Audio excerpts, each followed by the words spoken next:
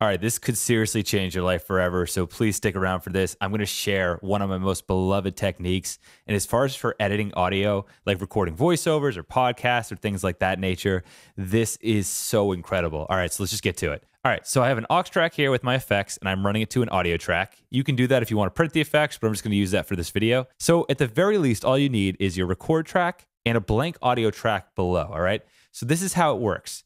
And I recommend you probably go into slip mode for this. So I'm going to hit record. And then now I'm talking, I'm recording, I'm recording. And anytime that I make a mistake, this is what I'm going to do. So let's pretend that right here, that was a mistake. So I'm going to select that, highlight it, and then drag that selection to the track below. Now I'm going to use the shortcut Option Command G. And as you can see, I've made a clip group. So now when I stop the clip group, Notice that the recording on top overwrites it, and we're left with the clip below. All right. Now, this is very, very useful. So now what I can do is select this clip, hit the P key to move my selection above, and now I can just delete that. Then I can just go F, F, fade that in, fade that out, and now I have the perfect edit. So markers are great too. Obviously, you can just turn on your marker ruler here, click the plus button, drop that as a mistake here.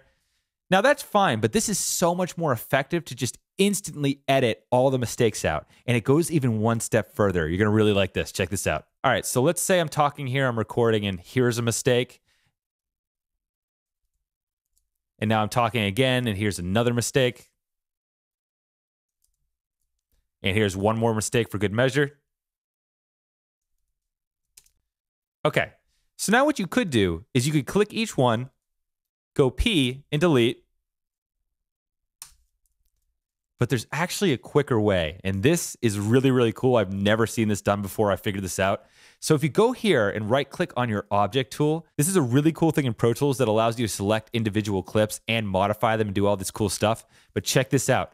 So first off, if I shift select all these and drag the selection up, I'm going to do control option.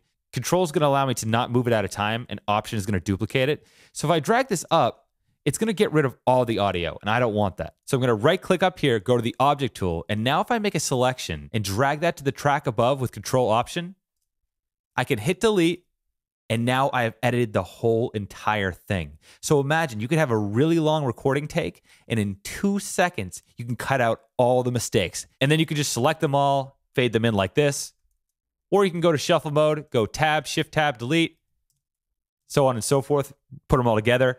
So this technique seriously can save you so much time and so much headaches. So try this out. I hope it helps you out. And please hit that follow button. Take care, everybody.